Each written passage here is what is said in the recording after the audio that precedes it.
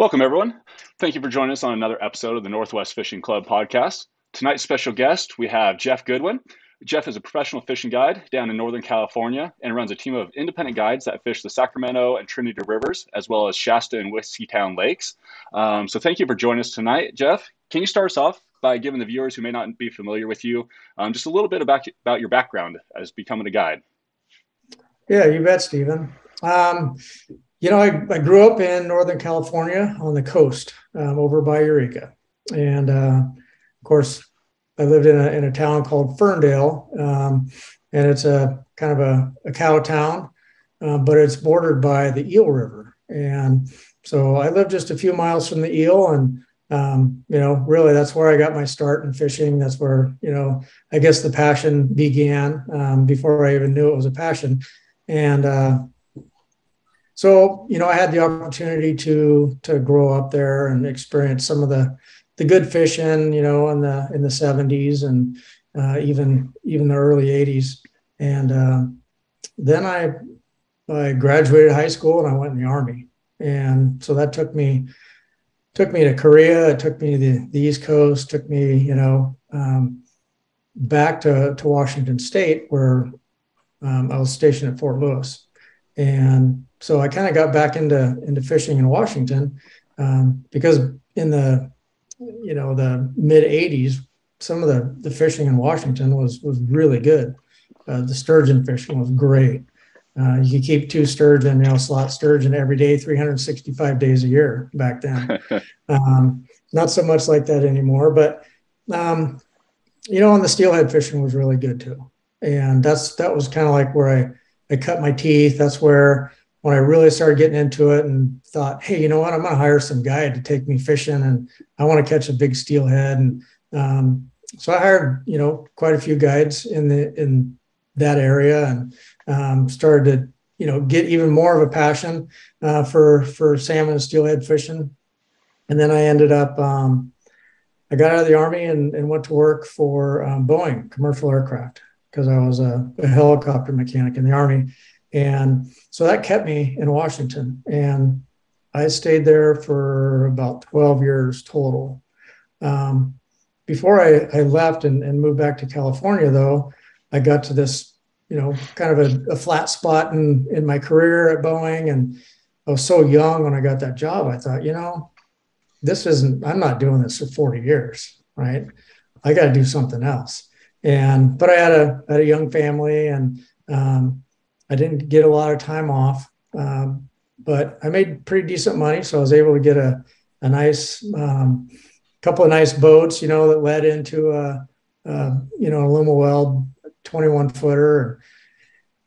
I started, you know, hanging out on the river and meeting some guys, and I ended up booking a guy named Ron Rogers, and um, he took me steelhead fishing on my local river, which was the Skykomish River, and we caught some steelhead the first first couple of trips I went out with them, and I went out a couple times on my own and started catching steelhead. And anyways, Ron and I kind of maintained a, a friendship, and um, he asked me one one time. He said, "You know," he said, "if you're interested in, in doing a little bit of guiding, I could I could surely use the help." And you know, that was I was in my I think I was in my mid 20s and I was like, really?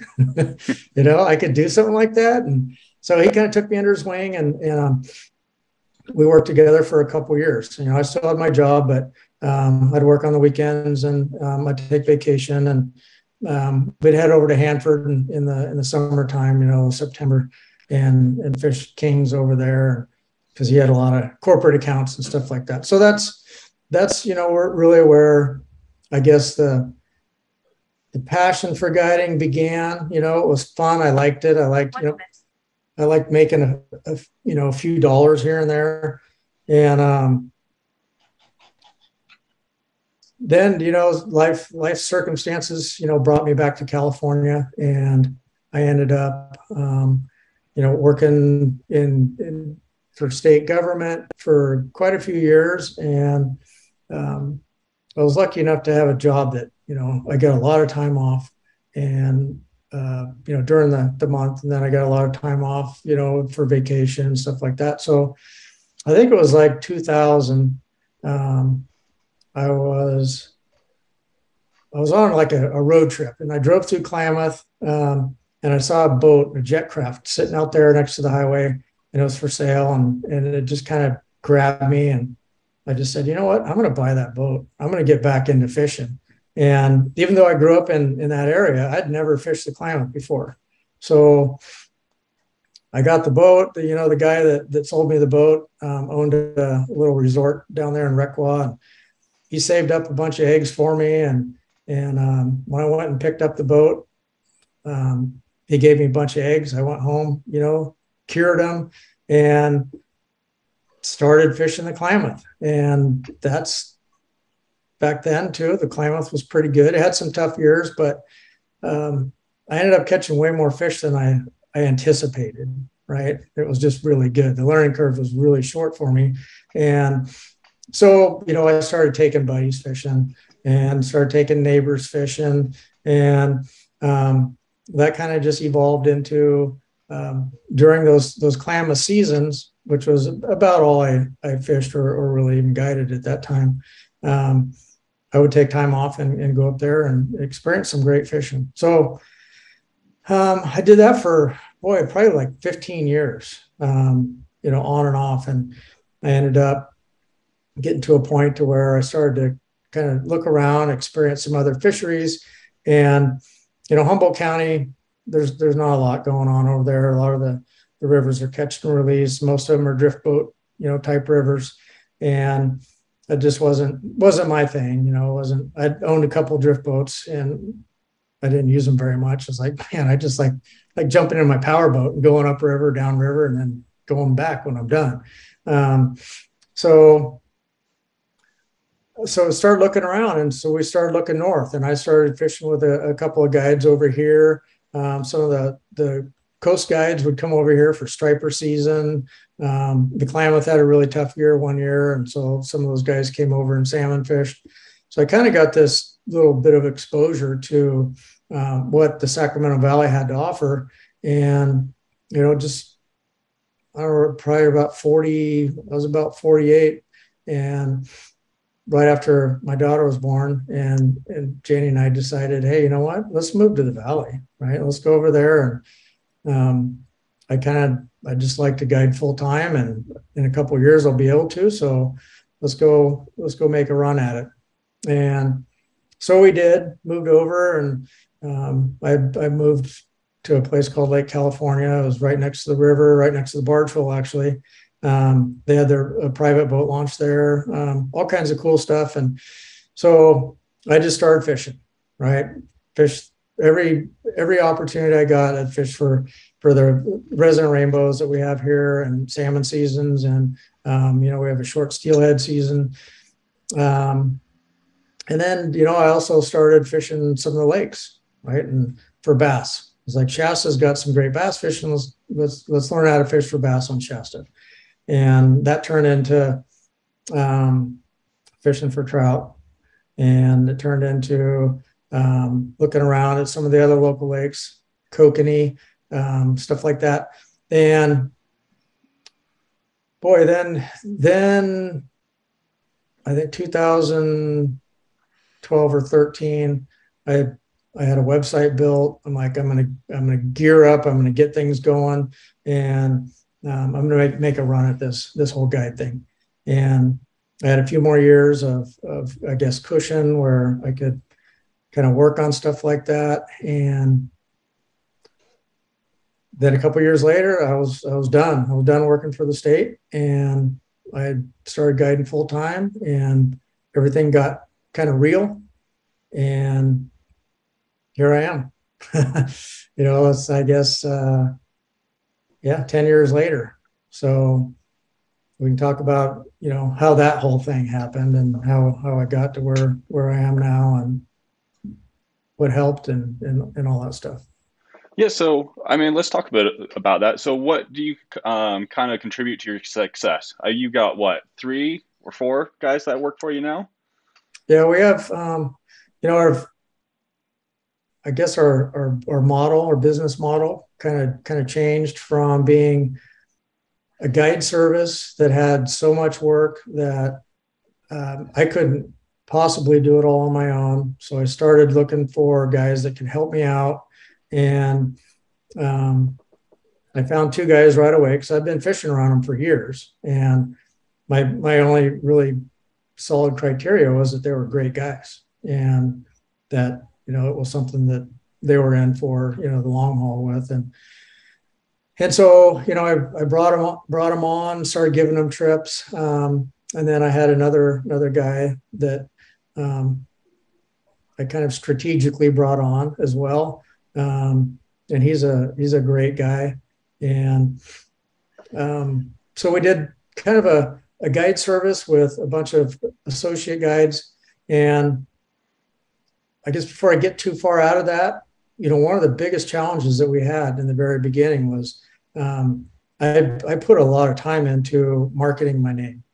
And so when you do that, you know, in the, in the guide world, people want to fish with you because they read your articles, they hear about you from friends or family or whoever, and, or, or, you know, clients that fished with you when you're coming up, you know, when you're, you're trying, you know, to, to, to build your business and so all of a sudden I had I had two and then and three guys running trips for me. And we got into kind of a pinch where people would book these trips and we were like, well, how do we tell them that they're not going to be fishing with Jeff? Right. Right. They're going to be in great hands. They're going to love their guide, but they weren't going to be fishing with Jeff. And, you know, we got, we got tripped up a few times by clients that thought that they were going to fish with me and they they weren't and they didn't really appreciate kind of not getting all the info you know and so i think you find that a lot you know with people hiring guides and stuff a lot of times they buy the name or they buy the the person that, that they want to fish with and throwing other guys into the mix can be complicated so i changed i you know we kind of brainstormed it and we we thought you know what let's call this thing a team, right? It's a fishing team. So that way, when people, you know, book with us, Jeff Goodwin Fishing Team, they know it's not just me, right? There's a team of guides, and it's kind of kind of explains itself. And surprisingly, it, it caught on really quick. And that little that little time frame that, you know, we kind of struggled with dealing with clients that, you know, were disappointed with the fact that they weren't fishing with me ended up, you know, having great times with whoever. They, you know, people now is like, well, I'd like to fish with this guy, but you know, I'll fish with anybody, right? Because we've just kind of established that, I don't know, that that name out there that people are just okay with fishing with us, right? Instead right. of me. Right? That's one of the that's one of the things I say a lot, Jeff. Is is, is now, you know, when I first started, it was the same thing. It was Todd Logan's Guide Service. Um, and for the lakes that I fish up up north, you know, I have a couple gentlemen that help me out, Nick Kenny and Alex Prince, and um, you know, without those guys by my side, I wouldn't be able to do what I do. Um, you know, mm-hmm. And we're really quick to come, you know, tell everybody, hey, you know, we're. I wish I would have named it Todd Lotus Guide Service. I wish I, and so exactly that. I never looked at it from uh, from the perspective you just said it of yes, it's a team. These guys are every bit as competent as me, uh, if not a little bit more. Uh, this last year, you know, with what we caught, would tell you, you know, it's they are they caught bigger fish than I did. Um, it's that team environment that people, and now we, we are getting to that area, that that place now. I mean, I've got guests that call up and they're like, "Well, I fished with you last year, so I want to go fish with this, you know, with Alex, or I want to fish with Nate, or you know, they bounce around." Um, with all of us because you know they see us fish together. Mm-hmm. You know, I mean, we're pretty. You know, uh, the way we fish up there is a little bit different. You know, we're not trolling, we're jigging, and so you know we can fish pretty tight to each other. Uh, it's when they see us interact together and the camaraderie that they that they see, they're like, we can be on anybody's boat. We're going to get pretty much the same. You know, really close to the same experience. But there are there are guests that just connect with you a little bit better, sure. right? They just you just see a little bit a little bit clearer with each other and they're like well you know i fish with everybody and i just really like to be on your boat um, but yeah i wish you know the um, what people don't understand is you know when we when we have these guides you know you bring them on i mean that there's a level of trust there that is You know, um, uh, I had a, a, guy ask me for a job here this year. I'm like, it don't work like that. You have right. to meet the guys. You know, you have to be a good fit with everybody. It's not just it's not just me saying, yeah, you're a great you're a great guy, great fisherman. Come on, let's go to work. It's a family. I mean, we work really close together and, and we have to have that trust. And so, you know, that's trying to explain that to, to the guest is, you know, they wouldn't, they would, I wouldn't fish with them if they, if they were not good, good people.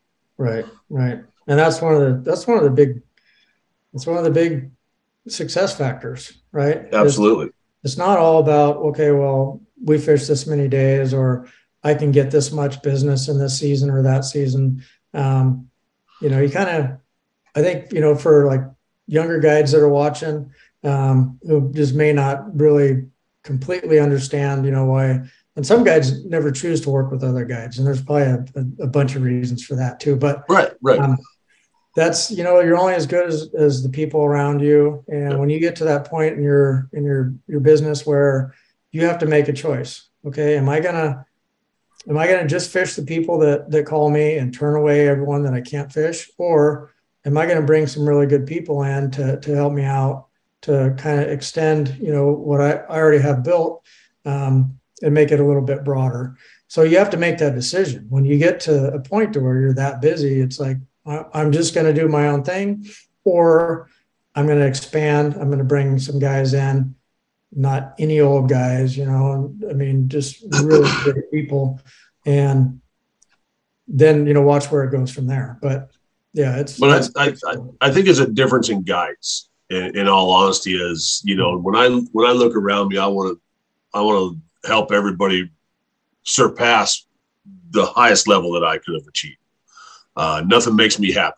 You know the um, you know to see to to see somebody take an opportunity and a little bit of information and then outfish you.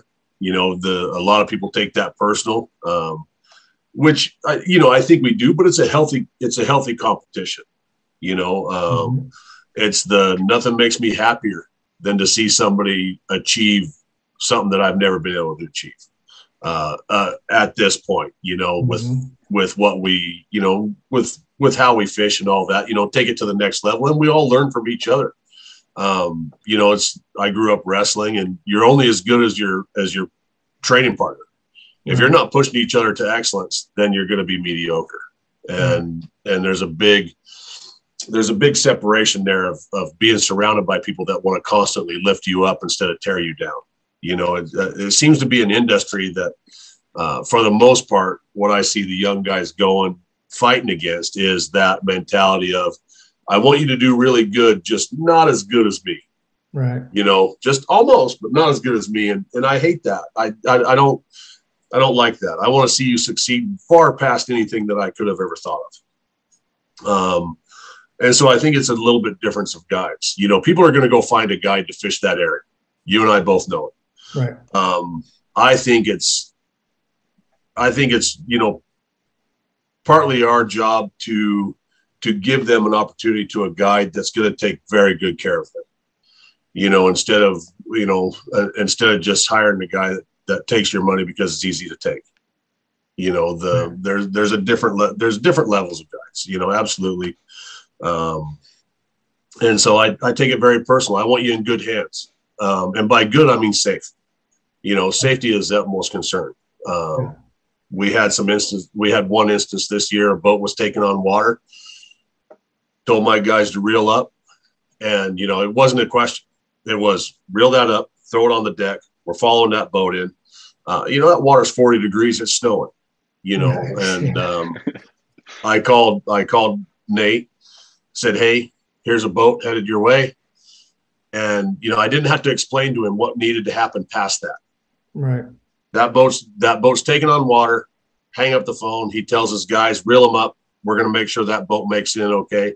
You know, it's, that's who we're, that's who we're backing is guys. I don't have to have a conversation of the second I told him that boat was taken on water, I knew what he was going to do. Right. You know, and, and so, you know, that's, we want to make sure everybody has a safe trip out there. You know, I mean, the fishing is they're they're going to come or they're not. You know, it's it's having that safe trip of you know somebody not putting you in harm's way just because of a fish. Yeah, you know the, the a lot of people don't agree, you know, but fishing, believe it or not, the catching part is the very last rung on the ladder, right? I mean, that's like that's like you're there for that, right? But there's so many other pieces, there's so many other rungs on the ladder that you know if you if you make it through your day and you climb all the way to the top and, and you get some fish, you know, on that top rung, then then it was a great day. But you take out any of those other other parts of your day, um, it doesn't matter if you caught fish or not. No. So one of the I say this all the time. One of my greatest mentors, uh, one of my greatest friends, um, uh, Jim Biddle, the owner of Willie Boats.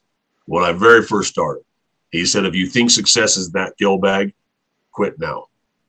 Right. And it was it was literally the best advice that I got early on in my career, right off the bat, was it's you have to catch fish. I mean, we're we're guides, you know, but I love it when we get to the boat ramp or, or after the end of the day, and the first story that they start reminiscing is not about the fish that I'm going to go clean. Right, right. It's about the experience that they had that day. That's when I know that I did my job, uh, and it makes me feel really good. You know, it's not the size of the tip or anything else. It's it's those things right there of, all right, I impacted their life in a positive manner, and the, and and um, that memory is far worth so much more than killing a fish or or mm-hmm. anything else. You know, nobody talks about how good a how good a kokanee that you know that they caught. You know, they talk about those memories that they shared together.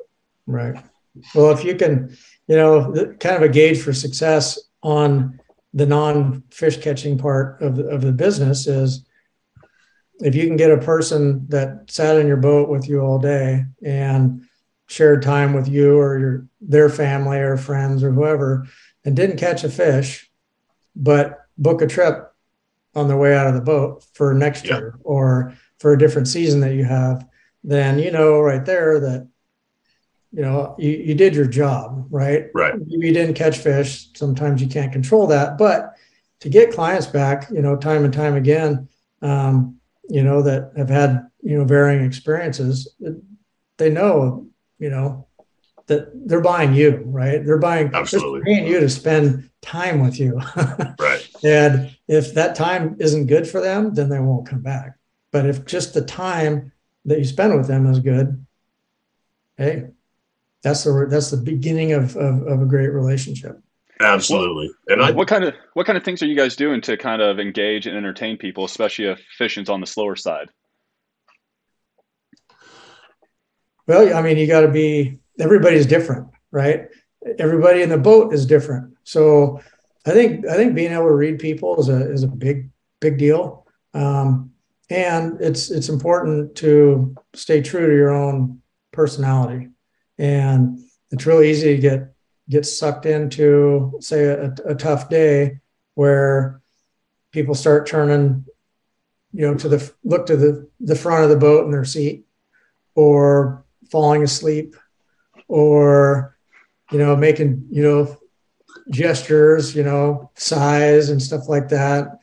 Um, you really got to be able to to shed a lot of that stuff and somehow reach down real deep and you know change something right?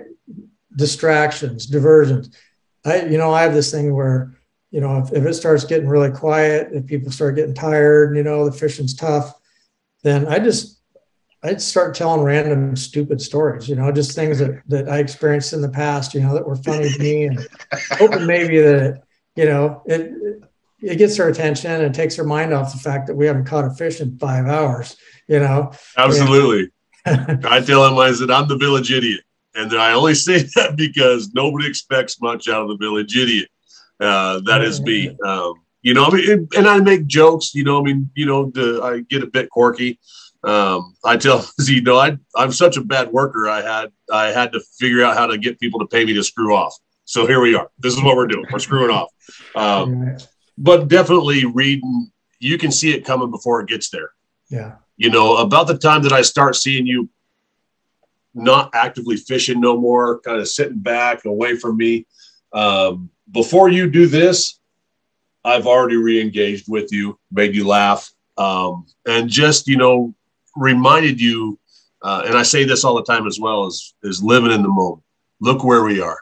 Look what we get to do. Yeah. You know, I mean, how glorious is that? And then, uh, you know, definitely it's that engagement.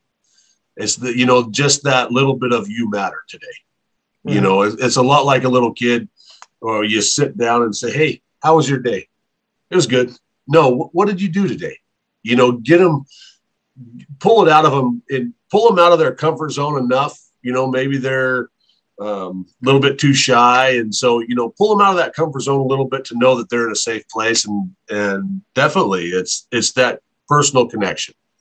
Um, yeah. This is me. You know, we're working really hard. You know, this is what we're doing, uh, but make it you know fun and engaging. You know, that's what that, I think. You know, for me personally, that's what people want is they just want to be engaged and, and know that they that they exist and they matter. Mm-hmm. You know, no matter their skill level. Um, that's the big part. You know, I don't I don't yell in my boat. I don't I don't like people to yell in my boat. Um, you know, the when somebody hooks a fish, I've seen I've seen husbands get on their wives, friends get on other friends, and they're like, "Do this, do that," and I'm like, "Whoa, whoa, whoa, whoa, whoa! This is not how we act." You know, I mean, because you you're already when you when you hook up, you're already afraid of losing that fish, and then somebody's yelling at you, chirping at you. You're going to make another mistake, and that is not what we do. You know, well, he lost it. Yeah, I lose fish. I'm a full time fishing guide and I lose fish. Yeah, and so, what, what makes you think that you're not going to? It's going to happen, but we're going to get the next one. You know, definitely, definitely that that personal connection. Absolutely. Yeah, For me, making, making somebody feel bad about feeling bad is is like yeah is the worst, right? So oh.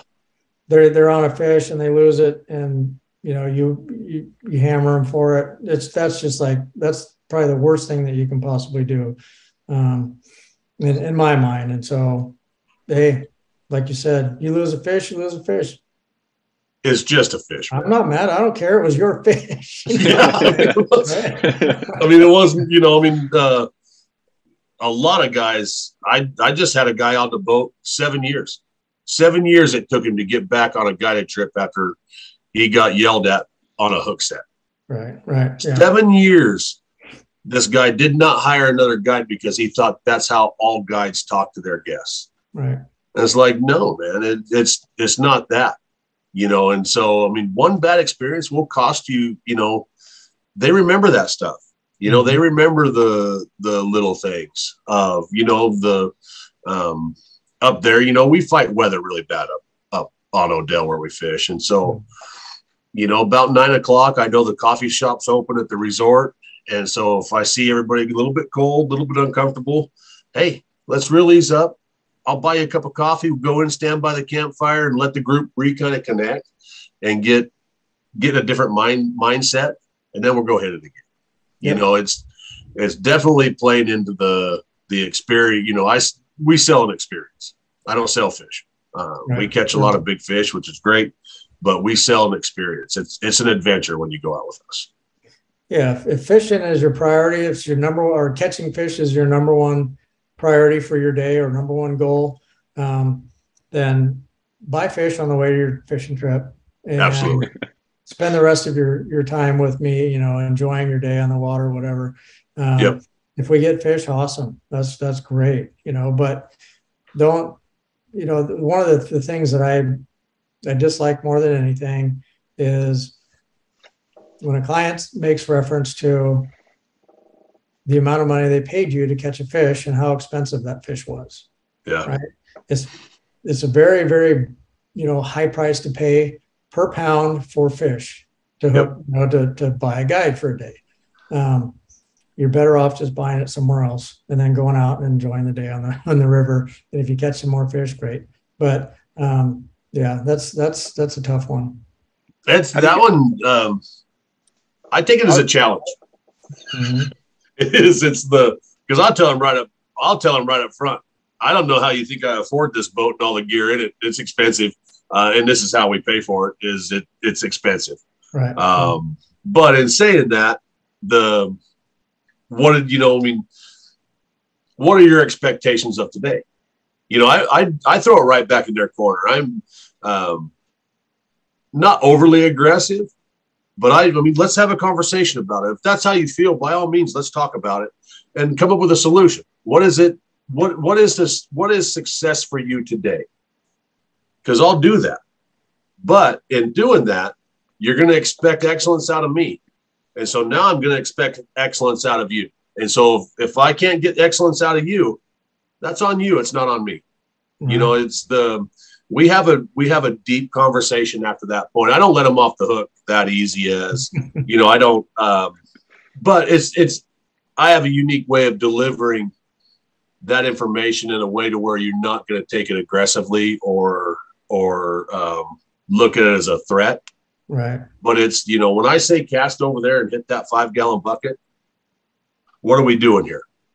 If you want fish, you have to hit that. And then and then they see that they can't quite do what it takes, and they're like, and I've seen it firsthand, and not everybody, Jeff, by all means, not everybody, but they start to understand of, all right, I'm putting you where the fish are. We have what they want, but you have to be willing to do your part. If you can't, that's on you. It's not on me. And so, you know, I mean, but I have a real conversation with them um, because I get a handful of guys that, you know, this is the most expensive price per pound. Like, dude, really? I don't know how much you're paying for gas, but I pay a lot. And so what's that got to do with the price eggs in China? Um, but no, I have a conversation with them. I don't shy away from it. Uh, it is expensive, hands yeah. down. But what are, but what are you buying?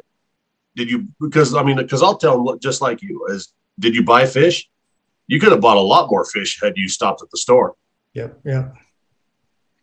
How are you guys kind of selling that experience rather than the, this is just a trip to come out and catch fish? You know, you look on Facebook and everybody's kind of posting their catch at the end of the day saying, book with me, come catch these fish.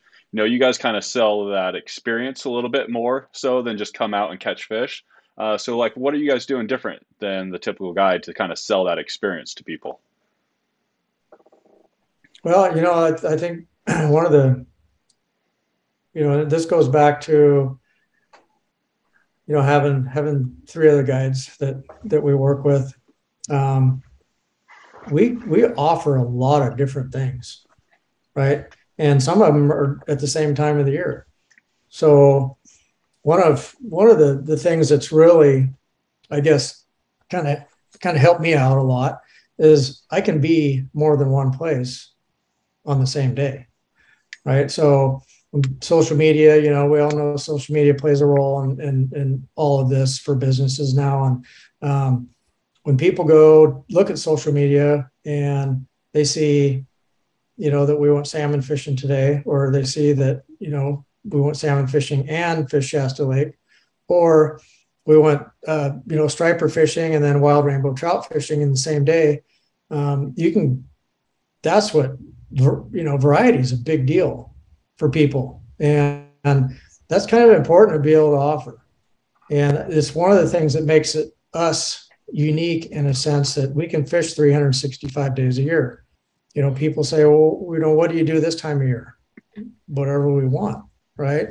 Um, unless it's closed. And a lot, our, salmon season closes, but that's about it. Nothing else closes. Every every day of the year, we have something to offer somebody and so that's that's something that that I think attracts a lot of people is the fact that hey, you know what, we can go, you know, fishing on Shasta Lake and, and catch a bunch of fish, um, trophy fish, you know, or just cookie cutters or whatever. And then while you're on the boat, you have another boat working in town catching wild rainbow trout. Or, you know, in the spring, we have a guy down fishing stripers.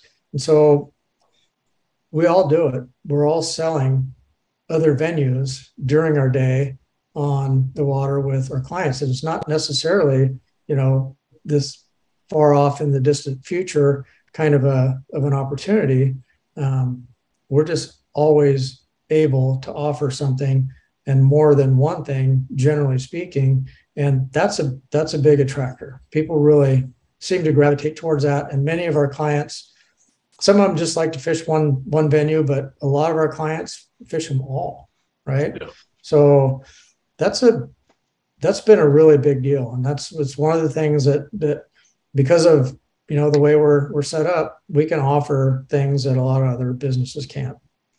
Yeah, absolutely. You know, we don't have that luck. I mean, somewhat we have that luxury, but not really. Um, for me, it's when you know I talk to you on the phone. You know, it's a personal connection of um, I sell reality.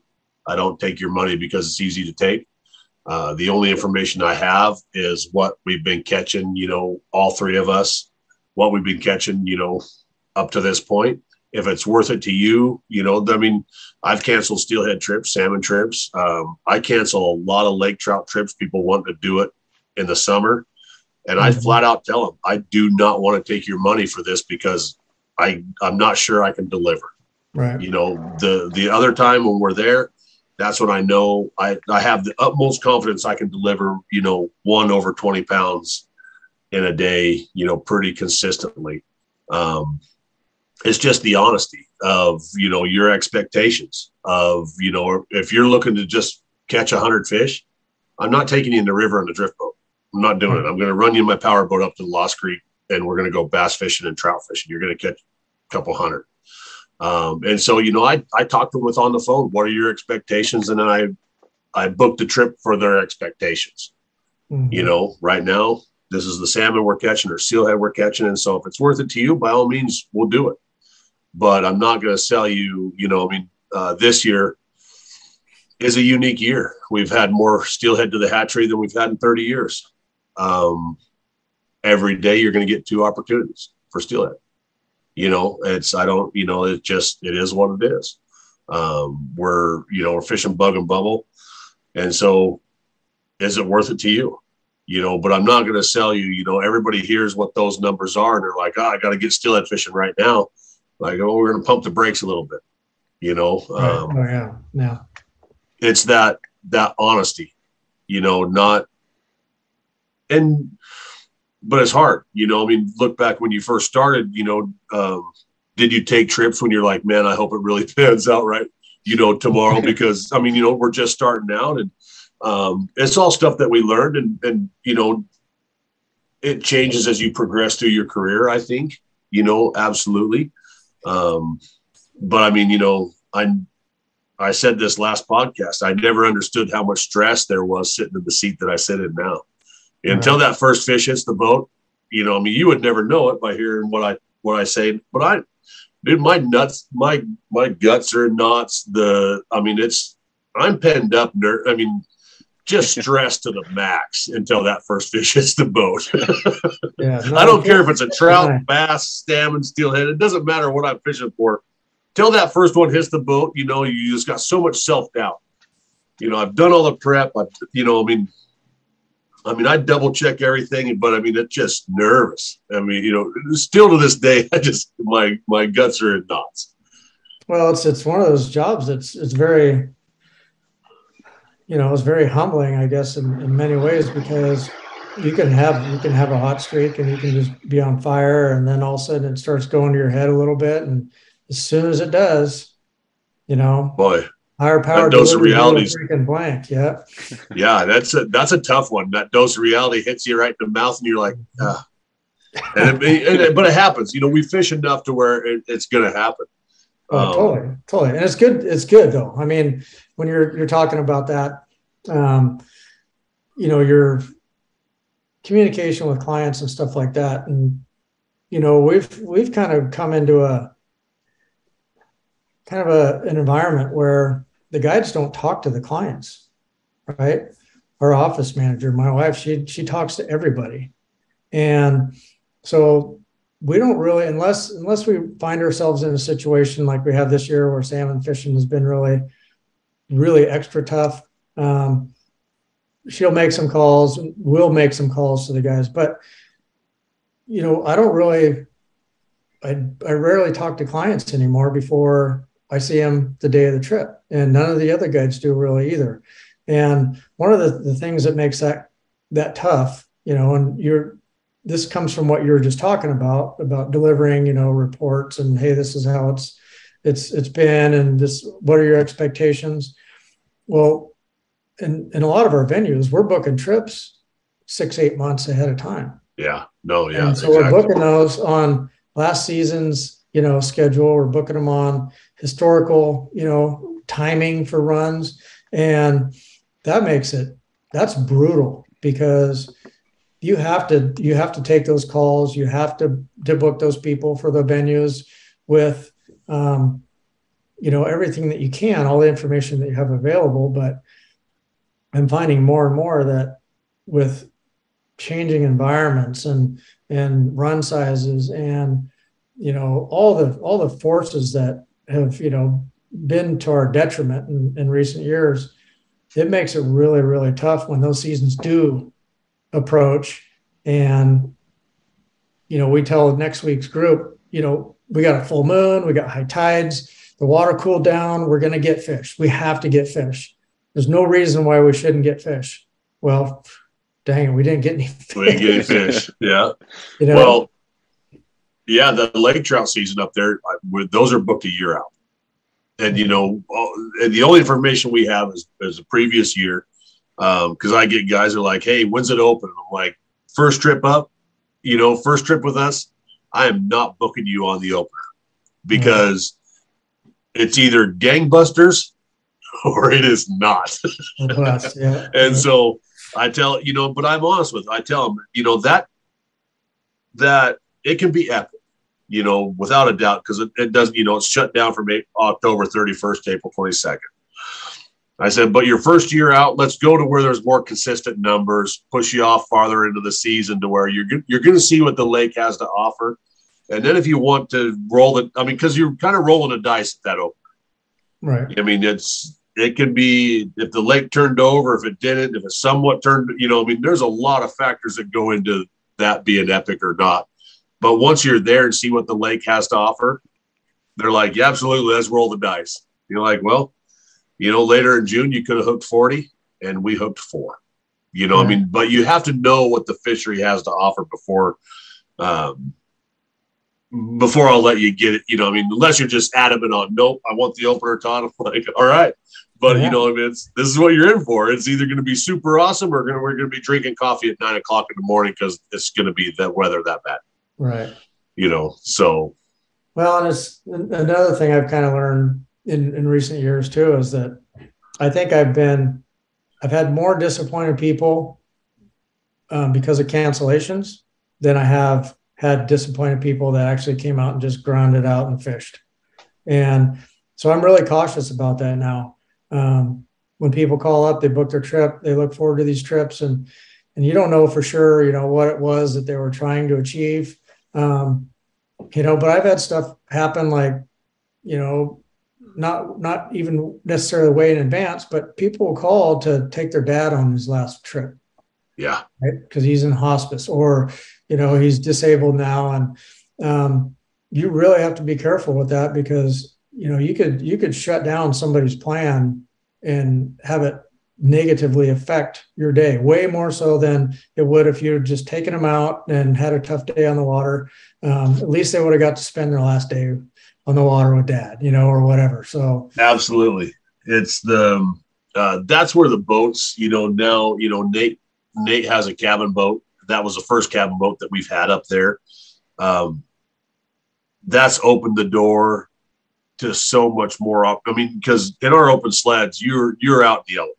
I mean, it mm-hmm. you know, I mean, it's it can be brutal. And so now that we have Nate with his cabin up there, um, it opens the door to where just what, like you said, hey, we're going to go out, we're going to work our our tail off to get you that one fish that you can have a picture with your dad or your mom before. Mm-hmm. You know, I mean, um, there was one.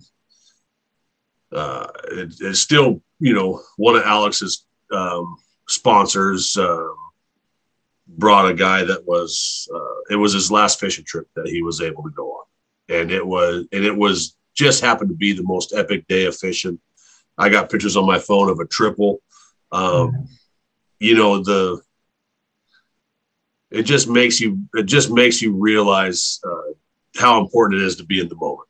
And, you know, it's another thing that I say all the time. You know, my guest today, um, they said, "How do you keep the passion?" And I said, this morning when I seen you taking pictures with your phone, I get, I get to do this whenever I want. The, you know, the, it is, you know, I, I try not to get complacent, but I do.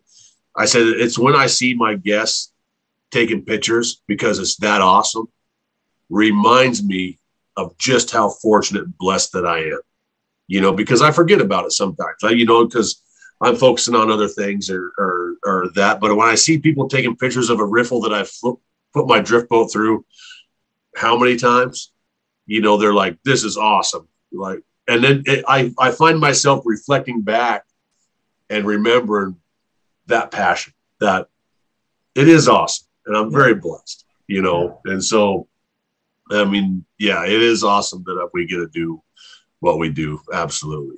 Um, but you said that you, you don't talk to your, you know, a lot of times you got, you don't get to talk to your clients. How, how many years ago was that where you gave the reins away to somebody else to book those trips? Because I, you know, I still book all my, all my own trips. Um, I imagine it would be really hard for me to trust mm-hmm. somebody else.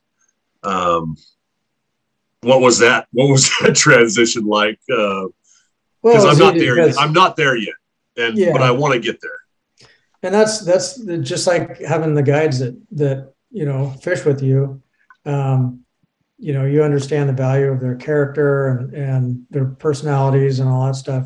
Well the person who's answering the phone right has to match that as well. So um, i'm i'm lucky because you know my wife does she runs the office right? And she's better at it than i was.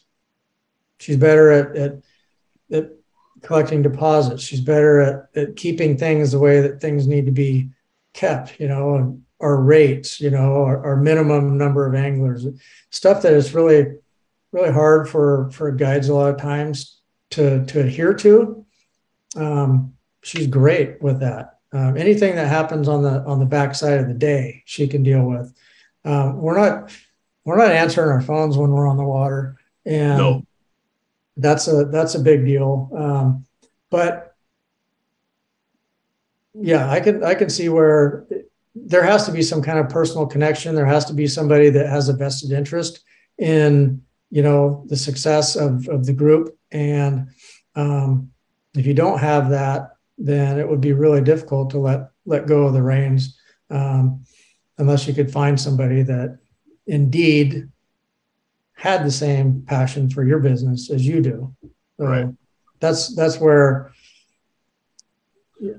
I I mean, my wife career changed to to do this, so right. there had to be, you know, there had to be enough there um, interest to um, take on everything that it, it encompasses.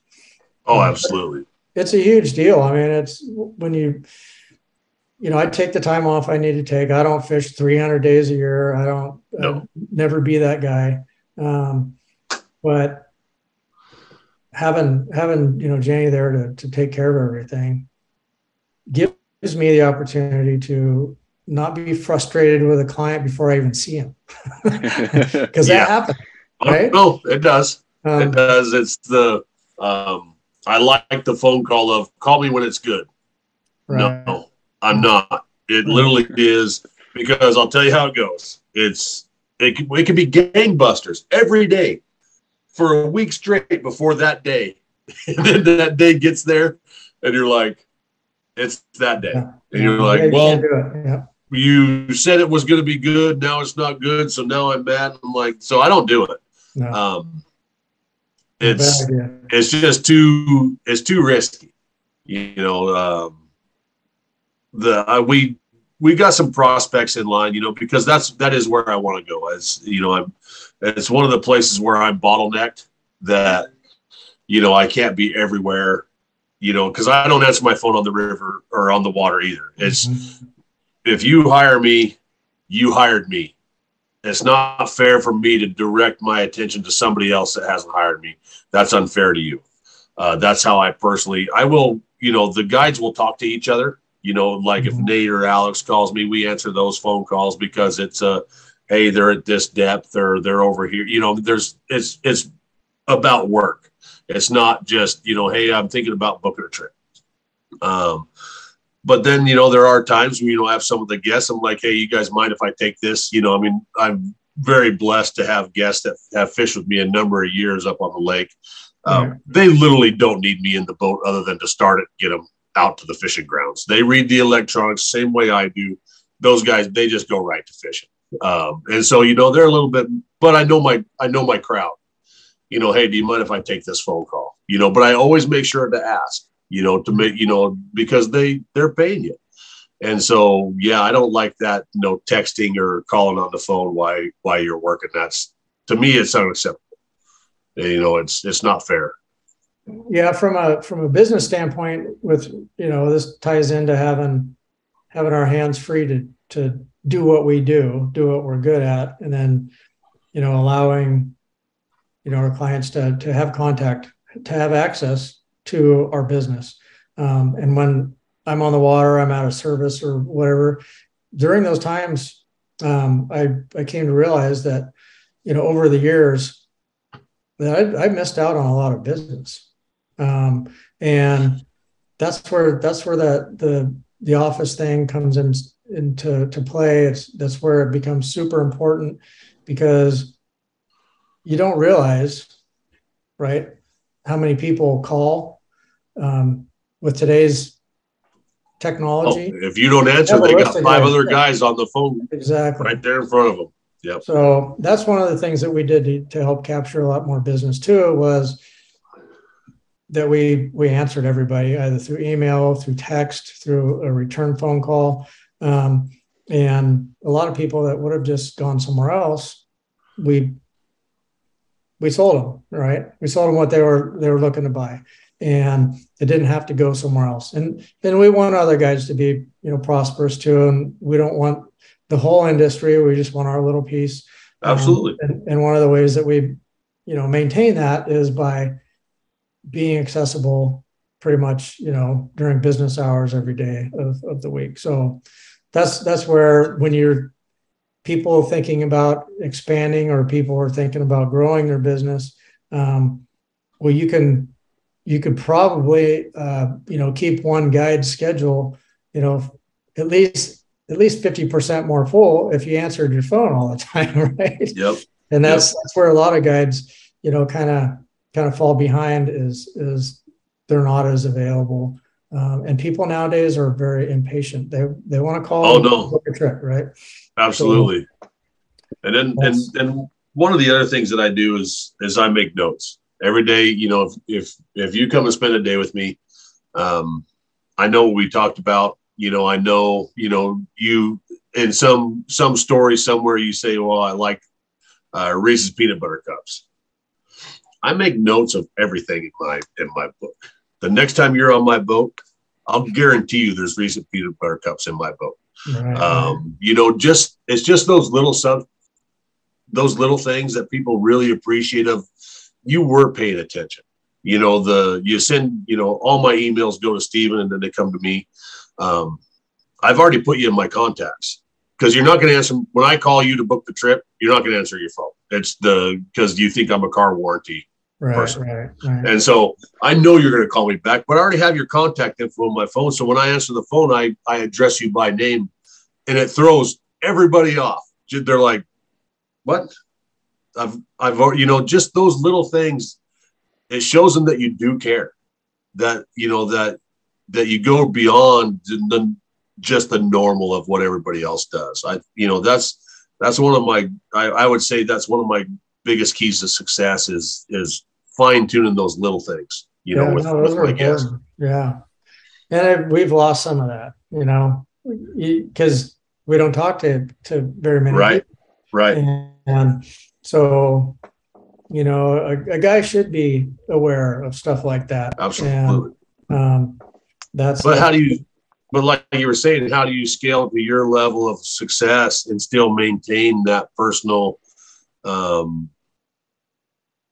yeah, it, that little bit of a personal touch, you know, would be really hard. You know, you employ, you know, a lot of days on the water. You know, a lot yeah. more than I do. Yeah. And so, you know, I mean, that's what you know me and Steven rack our heads about is you know how do we how do we maintain that standard but scale it up you know the and you know i mean i don't know. It's it's the ongoing debate between us is how do we do this? Yeah and that's you know one of the things that, that kind of you know evolved for us and then you know i talk about not talking to the clients but i in the beginning it was tough because everyone wanted to talk to me. Yeah, well, yeah. well when can i talk to jeff? Or right. i want to email jeff i have questions. I don't want to talk to you you know i want to talk to, to jeff. Now just like everything in life right our clients have established a, a, an administrative relationship with janie right right and then we establish our relationship on the water so as long as you have that people look forward to calling her to to book their trip because it's so easy. She knows exactly what needs to be done. But, she already has their info a lot of times, and it's just it's kind of a seamless experience for them. And then when they know what to expect when they get to the boat launch, you know, because she sends out confirmation letters and this is when you need to show up. This is what your remaining balance is. I mean, all those things. And so where we lose that kind of a, I don't know, special hands-on touch between the guide and the client. Um, we we make up for it with having what we have, you know, in the office, and that that conversation and those communications are, you know, you, unique in their own. And absolutely, get, they, they've already made the personal connection with her. Yep. And yep. so they trust her to get the job done. To you know, that's what yeah, that's that's what it would take right there is have somebody that, that can make that personal connection to handle any anything that comes comes down the the the path, you know, good or bad. Yep. You know, schedules, I mean, just we.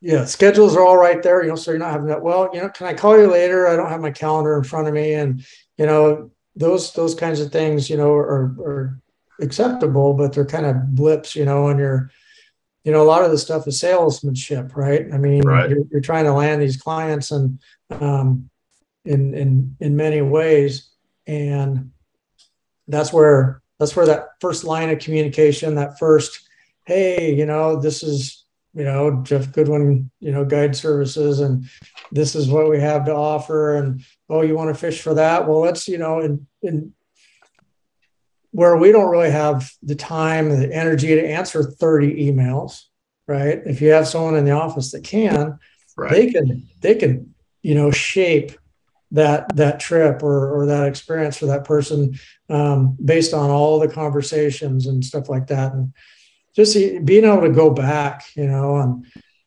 because you get you run 600 trips in a year and how many get rescheduled how many get canceled how many get put into next year how many it, it's impossible for one guy to stay on top of all of that stuff, you know, if he's trying to fish and do the do the office work.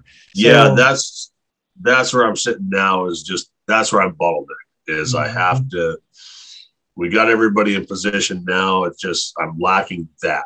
You know, that's where it still takes me to be sitting here, answering the phone, doing all that stuff. Um, but I enjoy it you know, I, I enjoy I enjoy that conversation as much as I enjoy fishing. You know, mm-hmm. the that I enjoy that interaction. And so um it definitely opens my eyes to a different way of I have to be willing to let go a little bit of that that control. Uh, and, and and I don't know if control is the right word, but you know the the security of it of you know I know it got done at in the same manner of you know how I would have done it, yeah. you know, and then how do you model that? Yeah. Well, yeah, it, it can be found, I think, and um, you know, there's there's ways to, you know, I mean, Janie doesn't work for free, right? So there's there's ways to structure all that stuff too. So it it it's a very worthwhile venture for somebody, right? It's enough right so that they'll put their best into it as well. And right. because when those guys go out for the day and there's four four trips with you know four five six people in the boat and each one of those seats is a commission that person's going to make sure everything is just perfect, you know, before that trip happens because they're they're paid for that day depends on it. Right. So it's it's um you can set it up to make it, you know, really really beneficial for somebody to really be on top of it. Um, so, so what you're saying is is going to cost me more money to make more money? Yes and no. Yeah. Yes and no. You know, I mean, because that's what we're that's what we're fighting now is uh um you know, me and Steven, I was fortunate enough to meet Steven a number of years ago, uh, when he was still guiding on the river. And uh, you know, where he's taken my company when we when when we decided to move forward, you know, as a, three years ago, you you just posted that uh, on Facebook. It was three years when, you know, people don't realize it was a year and a half or two years in in the making. You know, when we first talked about doing what we did, and then three years ago we we pulled the trigger, made it happen, um, and everybody's like, "Well, it's a lot of money." Yeah, but not really. you know, in in the whole scheme of things, uh, where he took my company, um, I couldn't have achieved. I had to let go, you know, but that was our talks of I'm at my ceiling. I've taken it as far as I could personally take it. You know, I I like to think I'm a great guy, you know, fun to hang out with. Um, but I, I couldn't I don't know the social the social media stuff, the website stuff and where he's taking us now is literally the next level. Mm-hmm. And so, you know, I I think, well, how can I, how can we incorporate somebody else to get me, to get us to that next level above that? You know, I mean, that's what we're all searching for. Is you know, like I said earlier, is to lift everybody up. I want to see my, I want to, you know, I want to see the people around me succeed. Um, I'm I'm great because I surround myself with greatness. You know, that's the that's the number one key is you know it's not the money in your hand at the end of the day it's you got to look at the whole year of we invested this into the company and my wife works really hard um, and so you know she's not able to take over you know she does she does her own thing uh, to where you know she's not going to you know book the trips and and all that but it's that's where we need to to get to the next level beyond where we are you know yeah, no, it's super important. I mean, that's that is, in my opinion, it was one of the things that really put us to the next level too. Right. And I don't like you just said, I don't think I could have done it on my own. I would have, you know what, I probably would have flamed out and I would have said, you know what, you guys are on your own. you know, I got the business I need. That's all I can handle. And sorry, but I'll I'll send you know, calls to you or whatever, but I can't manage all of your schedules. I can't pay all of you guys. I can't do everything that's because the other thing that that, that did is it really relieved me of some of those those tasks and it enabled me to put more time into the technical side of the business, right? And with you know Steven's help and and you know a lot of information that that he sent my way and um, it just made it easier for me to concentrate on those particular things and let some of the other stuff go um, but still win right um, well and that's and, and that's one of the other things i wanted to bring up with you is the you have a ton of information out there you know you go into great detail on if if I wanted to go fish Shasta, I can get on your website, take my boat down there, and go fish. You know, mm-hmm. I don't have to hire you. The what was it? I'm I'm just like you are in that respect. As I will give you the, I don't want you to have to hire me to go catch these fish. Right. I want you to hire me because I'm fun to hang out with and, and you want to be with me. Um, we get not we, but you know, in the industry, there's a lot of pushback of why would you give somebody that information for free? Um, you've been very successful uh, in doing exactly that. You know, I mean, like I said, I can go fish Shasta. I can go back through your the the articles you've written and pretty much go right to work in yeah. on that body of water. Yeah. Um, how do you get people to understand that there's more value in in that information than there is non-value. I mean, because you know, I mean, look look how it's grown your business, just sharing that information. And then how do you navigate the you're blowing up a fishery comment? Because that's the other thing that we that we fight. mm-hmm. Well, you know, I don't have many friends in the guide industry.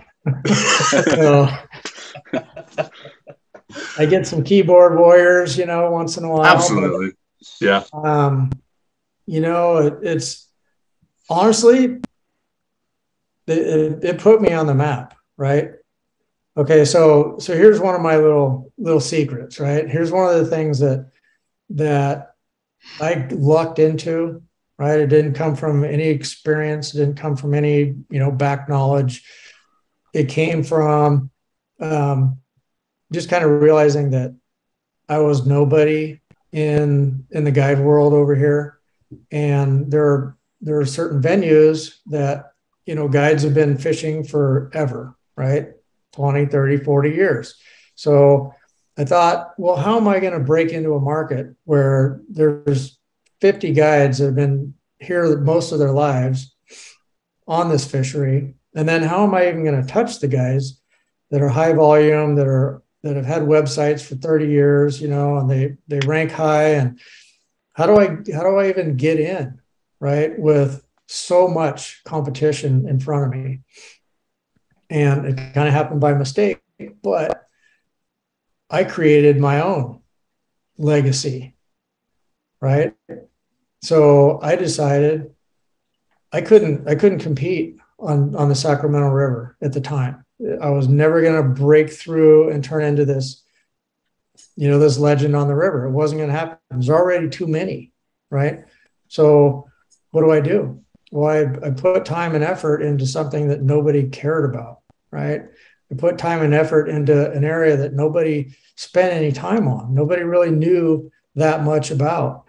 And honestly, it was it was Shasta, right? So there's a couple guides that worked Shasta, but they didn't write about it. They didn't do much at all with it. So early on, I started finding success and I started to share it. And people were like, wait a second, those are Shasta has browns in it, or Shasta has big rainbows, or Shasta has salmon. And all of a sudden, people started getting real interested in, in the potential for them to be able to go to Shasta and catch some some fish, either with me or, you know, maybe on their own. Then when I started learning more and more and more, I started to share some of that information. Um, and I think you know, I didn't know it was going to do what it did, but people became very appreciative. And all of a sudden, all of a sudden I was I was human to all of the people out there that watched, that that read articles, that that watched videos, that did anything.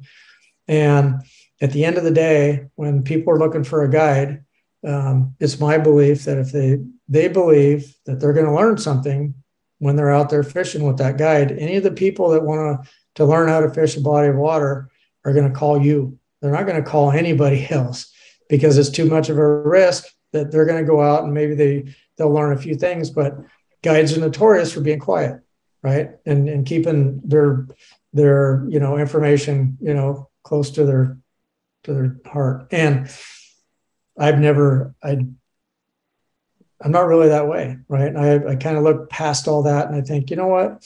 This is an industry. This is a sport. This is something that you know um, is important to so many people. It's primal, right? There's something about fishing that that lures people, um, yeah. and their thirst for knowledge is something that you can capitalize on. And you know, for a couple years, I had client after client after client after client book in Shasta just for the the purpose of learning a little bit more about how to troll for trout or how to catch salmon.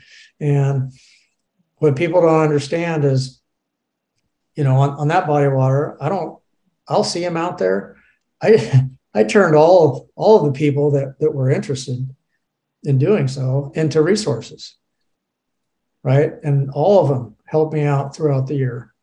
And I always know somebody who's on Shasta fishing And if I haven't been out there for a couple weeks, I can call them.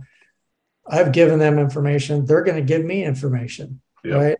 So, from a business standpoint, whether you believe it or not, sharing good information with people goes way further than than you would ever imagine, right? For the crowd, uh, for people listening. I, I would I would agree. It's I I liken it to it's the first pillar of the bridge of trust. Mm-hmm. Mm-hmm. It's the if I'm willing to, I think it screams confidence. If I'm willing to give you all the information about my fishery, I'm confident enough to know that you know the, we're all going to have success out there and once they once they know that you want them to have success then you know you hear the conversation of well you're a great guy you know the you know through all the keyboard warriors and and the hate mail that you get um the the people that have had enough courage and respect to come talk to me on the dock and not take with the the what they perceived me to be online of ruining their fishery that they've been fishing for 50 years, had it all to themselves, their locals there, all the same things that you hear. Mm-hmm. Um, they walk away shaking my hand and saying, I'm glad I had, I'm glad I came down and talked to you because it changed my mind. Thank you. Yeah. You know, the, um, because we're not trying to blow up a fishery, but I want people to go, that town that town needs people like us going. You know, o- Odell is in the middle of nowhere on Highway 58. Mm-hmm. You know, those small businesses, you know, how much money we bring to that local community. And that's one of the things that I tell them. What are you doing to boost the local the economy? I'm bringing a hundred, you know, hundreds of thousands of dollars here a year. You know, the people work here because of the guests that we bring to that area. Mm-hmm. And so, you know, there is value to it you know, as as far as the fishery, come talk to me at the dock. I'll talk fishing. You know, you've you've caught a couple 20 pounders in 40 years. We're going to do it four times today. You know, the and it's you just got to get out of your own way and, and know that that somebody can teach you something. You know, the um, but a lot of it is just that, like I said, they're like, you're gonna ruin a fisher. Well, if people are using the resource, how is that ruining a fisher You know, I don't I don't like that argument because it's not it's not ruining a fishery. People are out enjoying the resource, you know, having a good time with their family, making memories. How is that ruin ruining a fishery? Because there's more people there. Well, there's more people on the planet now than what there was. So you have to uh, assume a little bit of that, right? Well, and there's a people talk about ruining fisheries. Oh, you're going to fish them out, this and that. Well, a little story about Shasta. Um, Shasta didn't get a lot of exposure, right? It was known for as being a bass lake, right? Everyone wanted to bass fish. They had bass yep. tournaments. They had all those couple of kokanee power tournaments every year, but um, people didn't realize that there were as many fish in Shasta as there are. The quality fish, they didn't realize that there were quality fish. And believe it or not, Fish and Wildlife um, you know, our, our state projects, fish projects, they they don't know how many fish are in the lake. Right. They just have a schedule. They raise them, they dump them in there, and they don't care if they live or die. Right. So, what happened was um, with Shasta, and this kind of this kind of helps that argument about you know us hurting the fishery. Um, Region One in California was slated for a ban of planting non-native species such as brook trout and brown trout in in the lakes right so oh. there was a big push by conservationists you know whoever i don't know who, who did but the state got sued for planting non-native fish in region one. And so they were going to kill the brown trout programs and the brook trout programs. And the brook trout programs from what I understand, did get get the axe. But for a year before that, probably one of the, the, the first big years that I had on Shasta, I was posting all these pictures of these great big browns that people didn't realize that were even in the lake, including fish and wildlife. Right. right?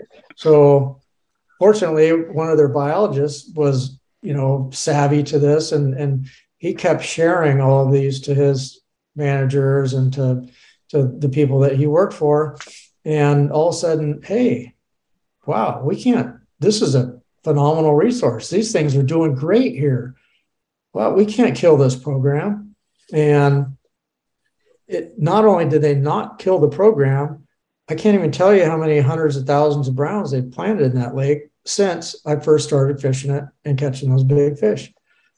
So right. that's a great argument for you know a lot of a lot of folks.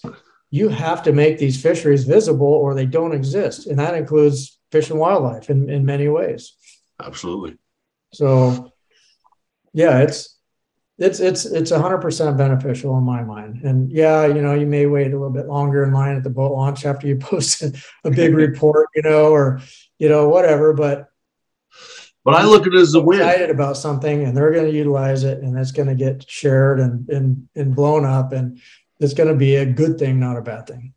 But and and also it starts the conversation of why we, you know, I mean, uh, we are catch and release on all of our lake trout up on on the lakes um, but it starts the conversation of why it's important to release those those bigger fish. You know, they're 25, 30 years old.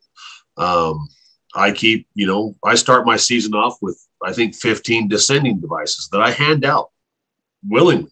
Take it, put it on your boat. This is how you use it. You know, the um, and you get people you get people passionate, you know, once they get the information from you and see how and see how we handle the fish, they get passionate about, hey, we can do this year in and year out. We don't got to kill that fish. You know, we can we can come back and catch these fish year and year. You know, it starts that conversation of of why it's important to protect those those bigger fish. You know, Idaho gill netted all theirs. Um, that's where I fell in love with lake trout. Was it mm-hmm. was it McCall, Idaho? They eradicated them, and so you know what we have right here in our backyard is pretty it is a gem. I mean, it's you got to go to Flaming Gorge to get the fishery that we have here. You know, our average fish up there is 17 pounds, um, which you know, I mean, yeah. that's a nice fish. Yeah, it is. And so, um, you're always going to have those people that you know catch a big fish, want to kill a big fish, and I don't, you know, hey, it's I don't want to get into that debate with with our viewers, um, but from a guide standpoint is you know we're so effective um, that you know I tell people all the time if I if I let my guests harvest these fish, I would decimate that we would decimate that resource in two years. Because you know if you kill a 25 year old fish it's going to take 25 years to replace that fish. Right. And so you know the you're going to see the damage in two years you know, and and then you get in the debate of uh, people tell us all the time we got to kill the lake trout because they're eating all the kokanee. They were released in that lake in 1930. If they were going to kill all the kokanee, don't you think they would have done it before 2022? Just saying. I think they would have. And so, you know, uh, changing the old guard, you know, of um, even all the, you know, the the the mail that we get. I don't know anybody that uses landing mats antiseptic spray and descending devices. You know, and, until we went up there and started doing what we do, nobody learned, nobody knew how to take care of that fish. You know, they were just they they trauma out they're going to float. They're not going down. You know, mm-hmm. if you bring them up too fast. Without a descending device, they are going to trauma out. They're going to float until they die, and then they're going to be dead. And so, um, that's one of the things that I enjoy about sharing that information. It starts the conver- it starts that conversation of why it's important to protect that resource. You know, the if you're going to harvest a fish, harvest one under 30 inches. He's, you know, he's three to five years old, you know, um, acceptable. You know, we mm-hmm. don't do it just because of the rate in which we catch them. But, you know, I mean, there's, if you want to kill one, there's, you know, this is the size that we would like you to kill and right. and everybody I talk to, they're like, absolutely, you know, without a doubt, Doc. So that's what guys, I like about sharing that information. Do you guys feel like sharing that information and that knowledge has ever ruined the experience for your clients, like the next day or the next week, just because there is a bigger crowd? No, not for me. Never. Do you ever notice that there is a bigger crowd after you post information or share some photos online? Yeah. Yeah, yeah.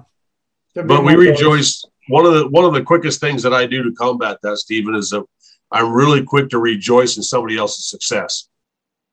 You know, like another boat where they're they may be catching more fish than me, kokanee.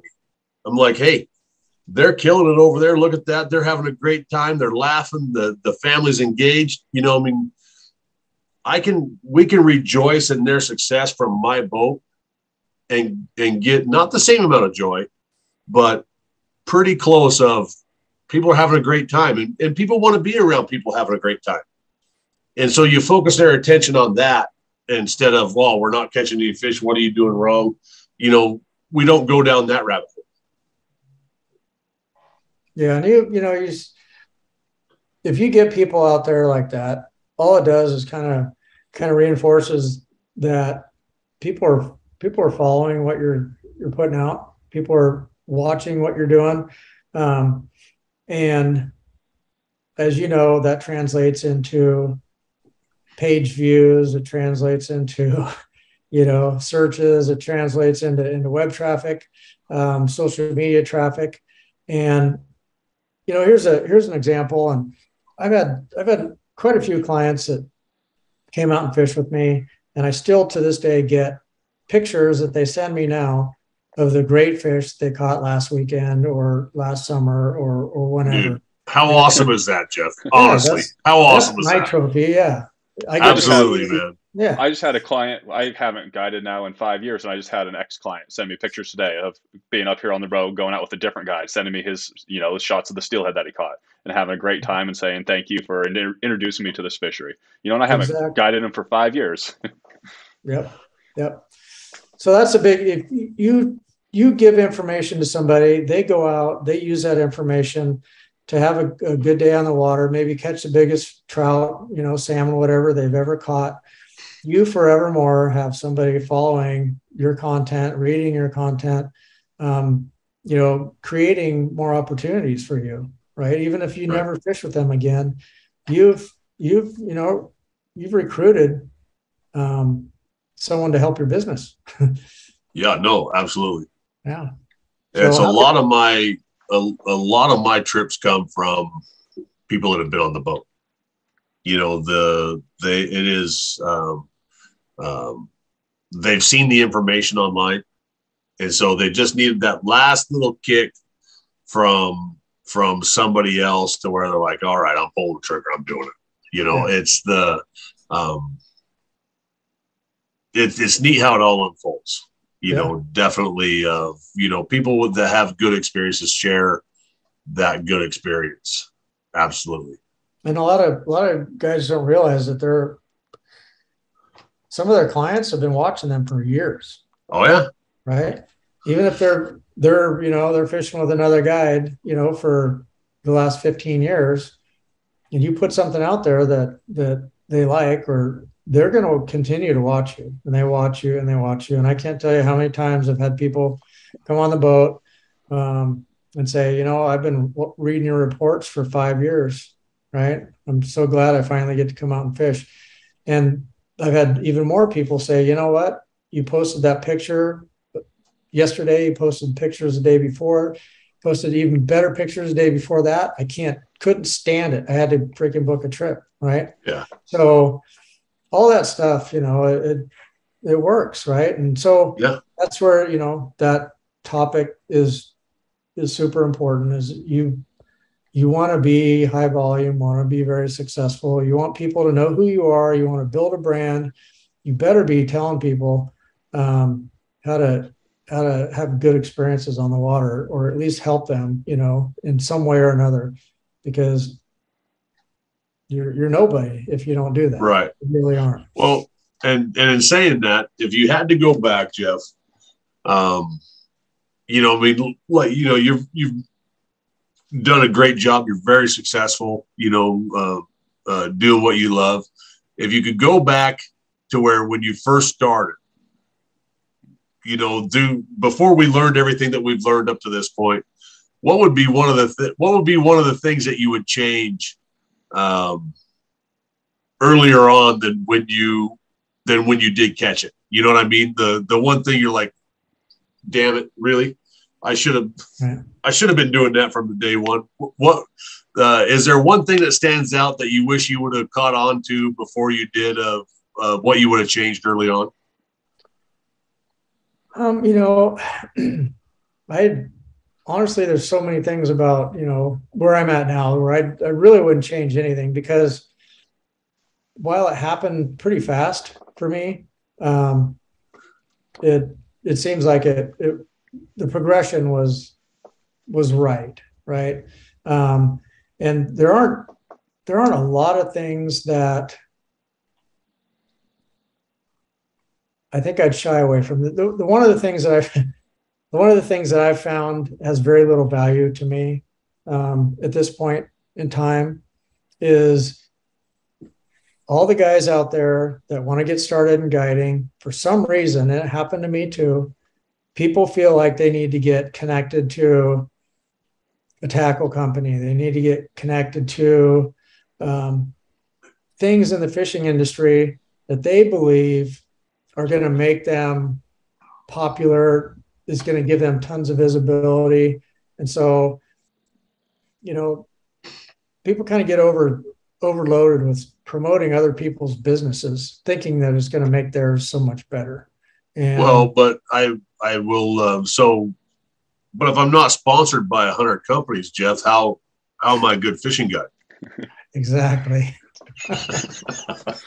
so that I think I wasted a lot of time giving that value. I wasted a lot of time trying to please other people.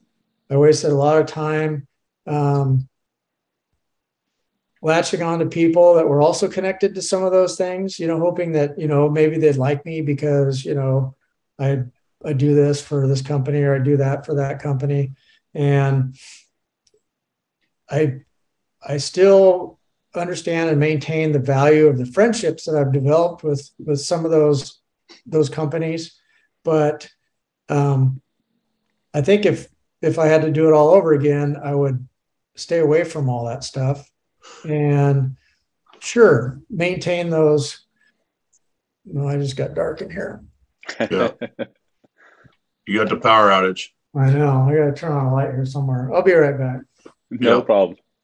Well, I'm gonna if you can still hear us, Jeff. I'm gonna I'm gonna um, talk for a minute here on on that. I think it, I you know I did the same thing um, early on in my career of of making relationships with that weren't necessarily a two way street. Um, and now in my career, um, I'm more focused on on sponsors that are willing to promote me as much as I'm willing to promote them. Uh, and in a lot of things, it's easier to buy the stuff. I don't want I don't want to be attached. I use the stuff. I'll promote the stuff because it's what I use, but I don't need the I don't I don't need the sticker on my boat to justify the my personal value. Um, of trying to of trying to find myself and, and who I am in the industry. You know, I made the same mistake. You know, I have the sponsors that I have now, they are family to me. And the relationship goes both ways. You mm-hmm. know, the I signed some deals early on, and I was really quick to realize I was nobody. I was nobody other than a name on a piece of paper that got a discount on something and you get to a place to where, dude, I'd rather buy it full fare. I mean, because I don't want the headache of of all of it. You know, I'm I'm pretty much down to to three sponsors um, now of of companies that I I generally care about, the mm-hmm. relationships that I've built. They they they promote me as much as I promote them, and that's and that's got value, you know. But but then again, in saying that, I know my value now. I when I first started, I didn't know my value. I was still in search of what my value was, right, and how to justify that value. Mm-hmm. Um, and then you know, uh, it definitely, definitely would be one of the things that I, I. It was a bitter pill. you know, because when when you're first when I first started, you know, you go into those agreements. I gave my word. I will do this. Well, those big companies come back and they're like, "Wow, we can no longer do this because of that, but we're still going to hold you to do what you said you would do." Mm-hmm. And I'm a man, and I'm a man enough of my word to where I I said it, so therefore I'm doing it. And then you realize, man, it cost me a lot of money. Got burned pretty good. Um, and so now it's just not that way you know and it's, yeah it's, it's the time you know the time that you donate to stuff like that um, is time that you could spend on yourself right on your mm-hmm. your own business and i just think you know that that was just what came to mind you know i thought you know i spent a lot of time trying to please other people or trying Absolutely. to be a part of something that i was never really a part of anyways and right. for the for the the younger guys out there, newer guys, people, you know, aspiring to get into this business, um, just go do you. You know, don't worry about what the other companies got. You know, you're going to save a few dollars here and there, but um, and if you if you want to do something like that, if it if it validates you, if it makes you feel like you're you know a part of the guide community or whatever, um, then just do one or two. You know, and do your best for them and and they'll likely, you know, reciprocate. But just yeah, that's the only thing I if I had to change it all, I wouldn't have spent nearly as much time trying to please other people. Yeah, no, me too. The like I said, my my sponsors now are my family. Mm-hmm. You know, they are I've made personal connections with the people that, you know, that I that I deal with, and we generally care about each other's companies. You know, I mean, I was very blessed to have you know Willie Boats. Um, got with them right. You know, probably my first sponsor was Willie Boats, hands hands down without a doubt. You know, mm-hmm. it was uh, it's a company that I hold really dear to my heart. You know, that's to be a part of that family, and so um, which you know still to this day you know i mean it's the very fortunate to to still have you know still be a part of the willie boat family and and now you know portland marine electronics with striker rods and um, but I found myself through each one of those companies. You know, they were, um, they're like I said, they were willing to promote me as much as I was willing to promote them. And so it's a two way street. It's not just the one way street of, you know, when everybody goes into those, those meetings, the, the first thing you want to talk about is this is, this is what I'm going to do. And this is how I, this is how you can help me achieve that you know um, now it's it's i go in there this is what i'm going to do and this is how i'm going to help you achieve your goals it's not about todd logan no more it's a you know and so once you have that that understanding of we're both there to help each other we're not there to take from each other it's a mm-hmm. whole different conversation than what i was having early on in my career yeah yeah yeah, it's it's okay to to find, you know, spend some time to find those those Absolutely. new ways, I guess. Absolutely. But um there's yeah, there's there's wrapped up in it. there's value in it, but you know, I mean, in all honesty, you know, a lot of the companies, you know, 15%, 30% discount. I was paid full fare. Thank yeah. you. Yeah. yeah. You know, I mean, it's because again, you're just a name on a desk you know, I mean, but I, I genuinely believe in the, in the, the sponsors, the three sponsors that are on the side of my boat. You know, I use that stuff. I, I bleed that stuff. You know, I, I generally wholeheartedly believe that is what works the best for me. Mm-hmm.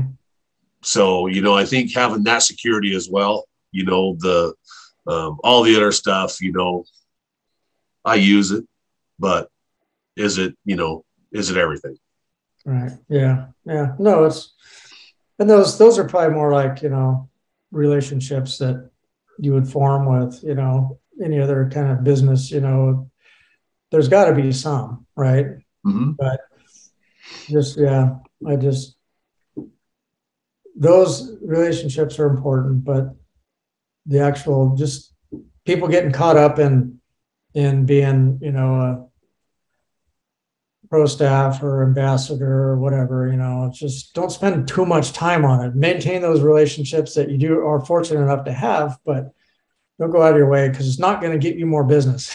that's that's what, that's well, what I learned. It is not going to get you more business. And I think that's a great that's a great uh, way to put it. Is what are you achieving? You know what I mean. As as we ask our clients, what is success to you? You have to look in the mirror and ask yourself, what is success? Is it you know is are you doing this to get more clients?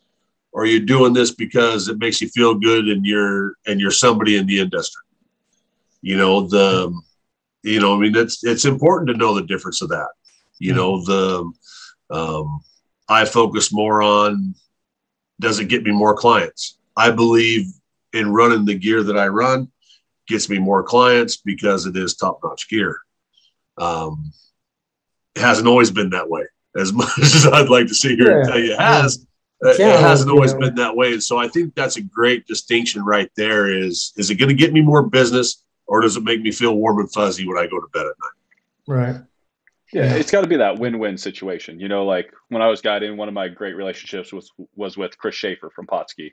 You know, and he's coming out and actually making content for you, um, helping you write content, and that is actually in a way helping you get more business. You know, it's promoting Absolutely. their products, but it's also promoting you at the same time. You know, they're putting those videos in Walmart on YouTube. And so that it's one of those few relationships from a company that is actually a win-win situation where a lot of these companies like you guys are saying are just discounts. They might share your picture here and there on social media, but they're really not coming out and actually helping you get content that's helping you grow that business, your own business as well. Yeah, no, that, that's, yeah, that's that's that's a good point too that and I share, you know, I mean, the information I share is because that's what I was using. Whether they're a sponsor, you know, I mean, I said it a couple podcasts back. Uh, I fought the fillet away fish mat. I didn't think it was going to work like it did. And I'm here to tell you, a buddy of mine actually, he's like, dude, you got to try it. They are that great. I'm like, I'm not buying. There's, you know, to me personally, they're super expensive. I'm not investing into another cutting board there's not a boat I own that doesn't have two in them now. yeah. You know, I mean, you know, and I think it's and, and I and I I think it's it has value to to tell people about, you know, like I said, I'm not sponsored by them. I pay full fare, you know, there's and I don't want anything from them. You know, but the once you get to a level of it works. You know, and it's and it's okay to promote something not for personal gain, just you know, to because it is a product that you that you that I use all, all the every every day now. You know, and it, it's changed. You know, as I as I morph and and you know year after year, uh, I would have never said that. You know, early on in my career, if you weren't giving me a discount or something like that, I wasn't going to say it. You know, I was one of those guys, the, the same guy that I'm chastising now. You know, I was that guy. You know, back in the mm-hmm. day. Yeah. Um, and so, but that's why I say that's one of the things I wish I would have changed is give people the honest because it's honest. And and and that's okay. You know, whether for no personal gain. It's again part of that lift everybody up through the community instead of, you know, well, what's in it for me? Yeah. You know, that's getting out of that mindset. Yeah. You know, but again, is it going to get me business? You know that's that's what i focus on now is is the information of it gets me more business. The more information i put out there is the more business that i that i get. Yeah and your your goal should be you know for a lot of people i think their goal should be not to rely on anybody right to get you business right?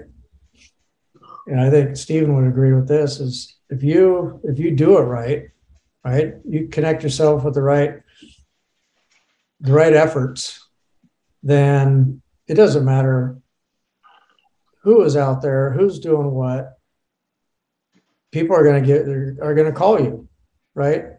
Um, all the things that, that have been put in place, um, the things that that Stephen helped me out with, the st- things that I've done on my own, the things that I put time and, and effort into for me, right?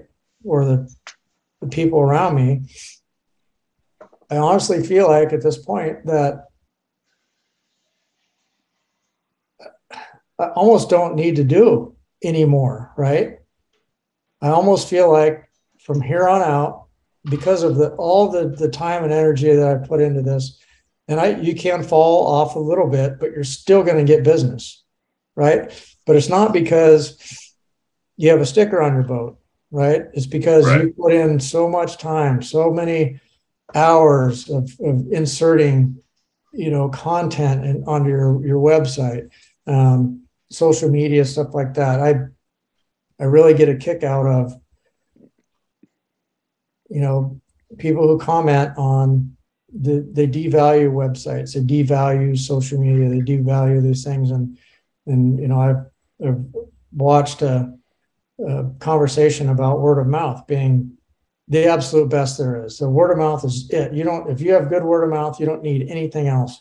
And that may have been the case, you know, 30 years ago, but it's not anymore. And word of mouth is important. I'm not saying it's not important, but if you want to grow your business, if you want to be busy, if you want to continue to work, you know, for years and years and years to come, it's not going to be word of mouth that's going to going to to make it happen for you. Well, and and I think it's that old guard, you know. I mean, that's um, what I tell people all the time is whether you like it or not, this right here is how I reach this generation. Mm-hmm. I don't like it any more than you do, um, but it is a reality of today. You know, like you were just saying, word of mouth is you have to have a good reputation. You know, I'm, I'm not saying you sh- you shouldn't have a good reputation. No, that's important. But you're you're you're kind of pigeonholing yourself with only relying on that one avenue when we have so many great other avenues to catapult us into into a different realm you know uh, for lack of a better word um, with business. You know we have to get that information out there. Um, and people are just you know they they don't want to look at the whole picture they just want to look. Yes, word of mouth is very important. Good reputation is very important, but we can do so much more with this right here that allows us to reach a whole different audience. You know, and what I tell people is my my clientele list is not getting any younger. I we fight very hard to get the younger people into into our industry. You know, I mean, as a whole, look at the age of your clientele. It's it's getting really hard to get those kids into our boats. You know, I mean, I, I don't know about yours, but for mine, it is, you know, the more information that I get out there, the more I had um, one of my family members um, from the coast. It was his high school son, Mason, had a buddy that we did the addicted video he comes over to Corey's house and says, dude, look at this. We got to go do this. And Mason starts laughing. He goes, we can go do that. You know, that's my dad's cousin. You know, I married his cousin. And right. he's like, no, you're kidding me. And so, you know, but I mean, that's where the information gets out there is, you know, that's how we reach this next generation is, is through social media. I mean, it's, it's reality. Um, it's foreign to us because we're older, but it is, there's such a great value in it that I mean, for me personally, it's I don't I don't see any other way to do. No, you're gonna. It, just, it allows you guys to breach a much larger um, audience. You know, it's getting attention on you, it's getting awareness about you, and word of mouth can only go so far. You know, those people can only tell so many people. Whereas on the internet, all they have to do is share, and now it's to their friends, and then you get another share, and it just grows exponentially rather than just word of mouth, which is kind of a linear growth. Well, I think you're exactly right. As I mean, as you go through your day, how many people do you talk to? I can make one post and reach a million people on this thing overnight. So it's not even it's not even really apples to apples at that point, right? You know, in yeah. in in my point of view. Mm-hmm. Yeah, and I mean, like with Jeff on his website, he can make one article about how to catch big trout on Shasta Lake, and that'll reach thousands of people every year for many years. You know, it's not just oh, I took this one person out, they're going to tell their friends, and now might not see them ever again. I made this post, and right. now it's reaching thousands of people for the lifetime of it on my website.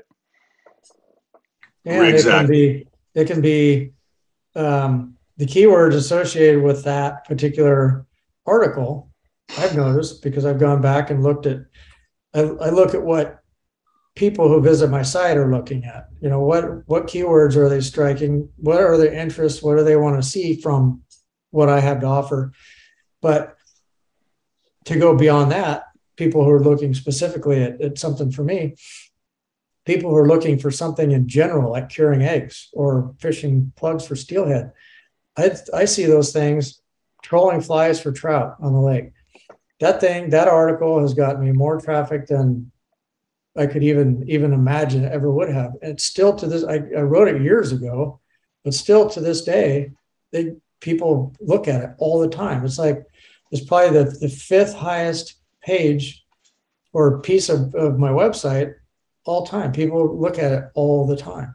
And so it may have nothing to do with you. They may not know who you are from anybody. They could be in a different part of the world, but they they stroke in plug fishing for steelhead. That article has been seen so many times that those keywords are sitting at the very top. They're going to get to see your article. Right. For years and years and years, like like you said.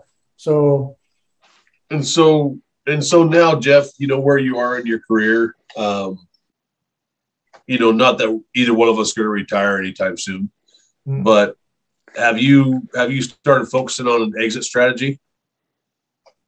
Um, I mean, because you know, we I mean, we're not going to guide. I mean, we're probably going to guide forever, but you know, I mean, the the days of guiding like we do now are, you know, I mean, it's it, there's going to come a time to where we have we, we're going to start pulling back.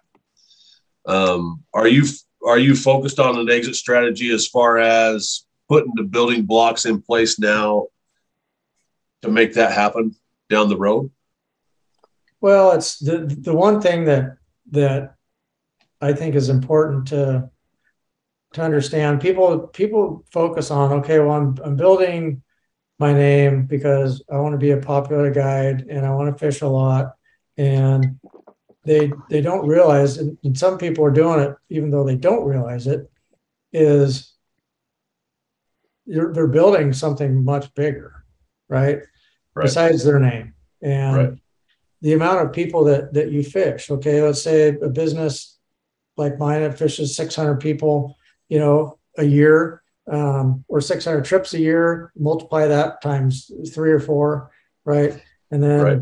add add you know 250 bucks a seat to that okay well and then assets that you have your boats you know your equipment right. whatever that's what your business is worth right i mean that's yep. on paper that's what it's worth and yep. a lot of people don't realize that you're building a name and you're building this and that and you want to get lots of trips but at the end what do you what are you going to do with all that work what, what are you going to do with everything that you've built are you just going to quit i mean i see it all i see guys do it all the time they sell their businesses for thirty thousand dollars. I'm like, whoever bought it was crazy, anyways. But for what? You know, um, you could be spending all this time generating value in your business. It's like any store, you know, that they have inventory, they have, you know, the books that shows how much money they make every year in sales. And well, when you go to sell that business, it's what you put in front of somebody and you say, this is what this business is worth. Right. You know, I don't know a lot of startup guides that can, you know, drop a half million dollars on a on a guide business, but if they were able to, it would be a, you know, in, in some cases it would be a, a good buy because that right. person would walk into success. Right.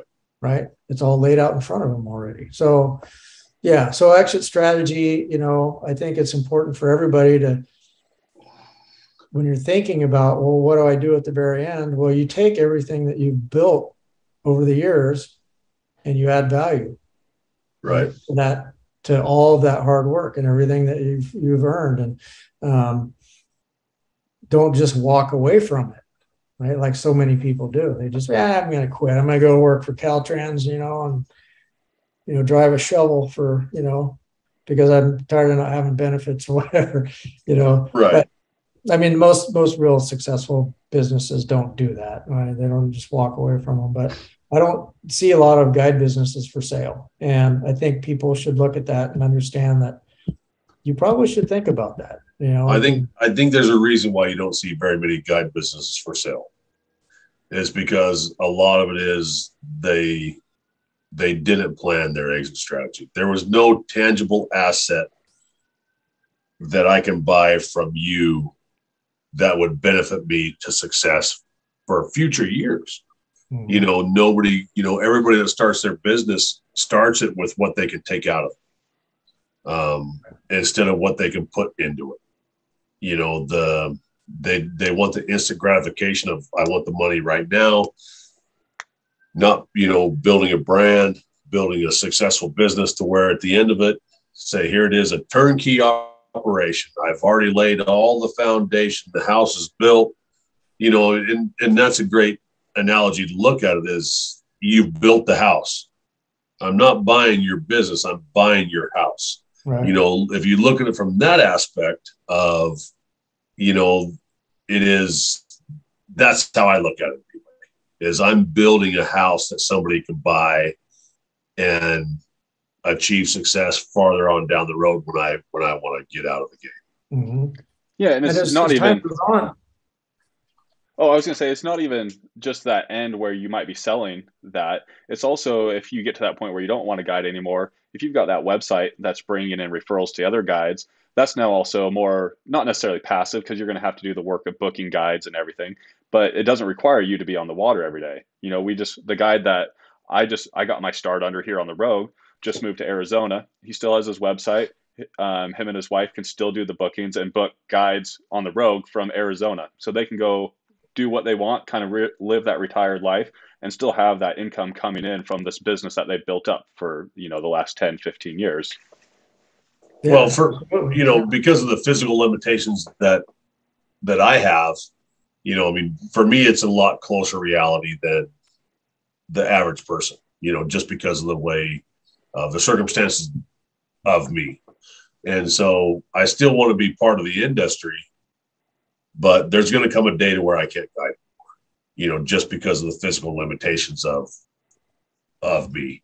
Mm-hmm. And so, you know, the it's been, you know, in my front part of my brain from the day one of how do I still get to be a part of the industry even though I can't do what I'm passionate about doing or, or love what I do, and you know, I can still be kind of a part of that to where, you know, because I'll have to I'll have to pull back. You know, as as I get older, things are going to change for me, and so you know, the my exit strategy has always been a forefront in my mind of you know at my end game to where I I I don't think a lot of the new guides have that in mind they're going to run it until it can't be ran anymore, and then it is what it is.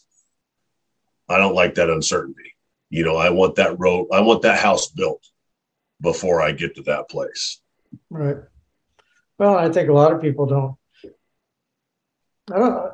A lot of people don't realize how much these revenue these businesses can generate, right?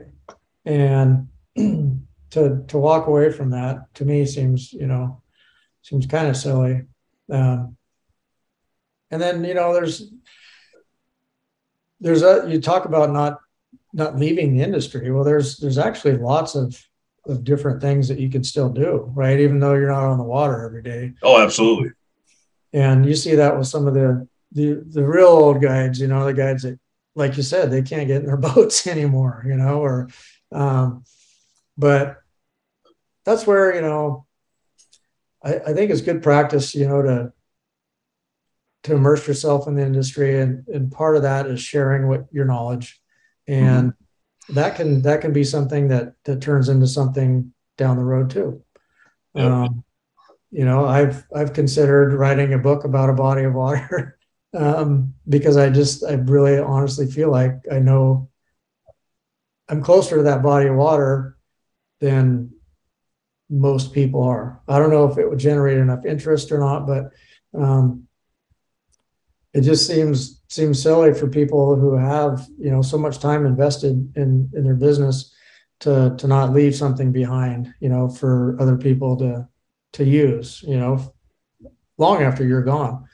Right. That's one of the, the cool things about the the technology now is that you're never going to go away, right? My great great grandkids are going to be able to watch videos of me fishing, you know, well on the Sac or Shasta. I, Lake, I think I, I think I know that body of water, Jeff. And just so you know, I'm not going to buy a copy. I would like you to pro staff me and sponsor me a copy because um, I would read it. It's the I had a literally today this morning, five minutes into meeting this guy, he goes, "Dude, you should write a book. Just guides, you know, just if if all I did was just put down guide stories, you know, from my perspective, because it is quirky, it is funny. Um, you know, I mean, it's the I would read it.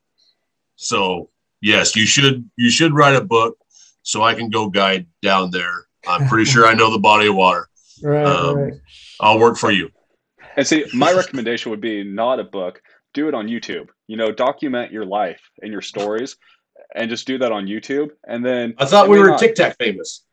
I thought we were going to be TikTok famous. but I mean, that just you know, it's that gets you those documents. You can turn all that into a book, but that YouTube is going to be digital. You know, that's going to go on for forever, rather than mm-hmm. just a book that's going to be that physical copy. You know, my that's would be really be my recommendation. Do that video and just you know you can either go do a super in-depth thing on like a super uh, specific fishery or just document those stories you know do a different video. This is my story from today or this is my story from 10 years ago. And then you've got that library and that collection. Um, yeah. and you also get that passive income then from youtube. You know it's just another income source as well. Yeah that's a whole nother you can make money you know on on platforms like that now and that's that's some i've well, seen some people try to do it but it's that's a whole nother deal there yeah yeah yeah but from what i understand I just need to take a picture of my feet. I can post that on some uh, OnlyFans stuff and get all kinds of residual. I mean, it's, it's not even anything really. And I got, I mean, I got one foot that is, you know, it's it's pretty awesome. I mean, hey, you never know, man. You never know what's going to go viral anymore. Yeah, I know it. I know it. Well, Jeff, we've been keeping you here for almost two hours now. Um, was there anything else that you'd like to touch on tonight? Um, you know, we covered a lot. I mean, this is uh, thanks for having me. It was fun. You know, this, oh. you could talk for hours and hours and hours. You know, people are probably asleep in their chairs now, but um, yeah, this is, is something that I think people should continue to to be aware of and and understand that there's a lot of good information on on these podcasts, and I'd like to come back at some point and we talk about something real specific, you know. I think that would have a lot of value for folks if they wanted to learn something about a body of water or you know, if we ever get any salmon back in the Sacramento River, um, you know, we can talk about that too. But yeah, nah, there's only one body of water that I'm interested in, Jeff. Yeah, is keep that river. yeah, yeah. But no, it was a great meet and greet, and thank you very much for for sharing your your um, uh, your journey with us. I, I really appreciate it. It was I'm I'm this was one that I was really excited about having was to get to meet you. Um, you know, I mean, it's what you've done on on that body of water is my hats off to you, and and one day I'll shake your hand and well done. Yeah, and, uh, you did you did you did something that was that I it's impressive. So yeah, thanks. Well done. Yeah, thanks. Yeah, hopefully the viewers and especially the younger guides can get, glean a lot of information from the conversation that we had tonight. I mean, you guys shared some real like gold nuggets of information that anybody can take and run with in their own guide business. So I I hope it's a super useful piece of information for everybody. And Jeff, before we let you off of here tonight, um, we like okay. to end every episode with a piece of alpha. Um, so, what would be your number one piece of advice for the viewers tuning in tonight? Could be fishing, could be life, um, just whatever you want to leave people with. Um, I, you know, I think I think uh, my best advice for for this industry, you know, would be to, you know, don't don't take everything real personal. You know, focus on your clients, and there's a lot of a lot of static on the out on the peripheral end of end, end of guiding, and it's it's really kind of a it's kind of clicky, but it's also kind of backstabby, you know, and it's it's a it's a tough business to be in if you let a lot of the the outside chatter get to you. Um, and and man just stay humble right? Success Absolutely. is is earned. Um, and it, it just is a reflection of how much time and energy you put into your business. It does nothing to do with how badass you are how cool of a fisherman you are any of that kind of stuff. It's it's it just comes from the hard work that you put into it. So absolutely. don't get big headed just stay humble you know enjoy the ride for as long as you want it you know to last. And um, just be good to everybody. I yes. So and mine is well i had some i had an instance this morning on my way to the boat ramp. So mine's going to be about life. It's not going to be about fishing. Um, i had to remind myself of this this this very morning of do the right thing because it's the right thing to do. As much as you don't want to. Really, really search your soul and do and do what's right because it's right. So um, that's where I'm going to leave that. So I did what was right as much as I didn't want to, but it was it, re, it reminded me of that of always do what's right because it's right. I like it.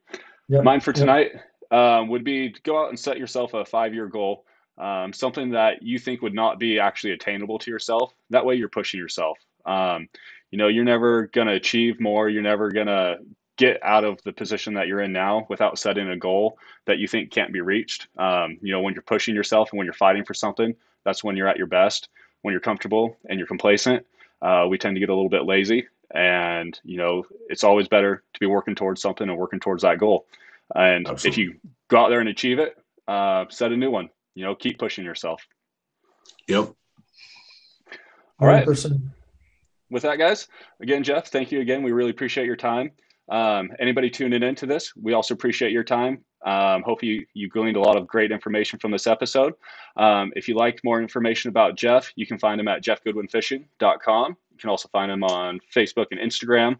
Um, I really recommend checking out that website if you're looking for any information on fisheries down there in Northern California. He's got hundreds of articles on all of them. Um, and then if you're looking for more information on what we're doing with the Northwest Fishing Club, you can find us at northwestfishing.club.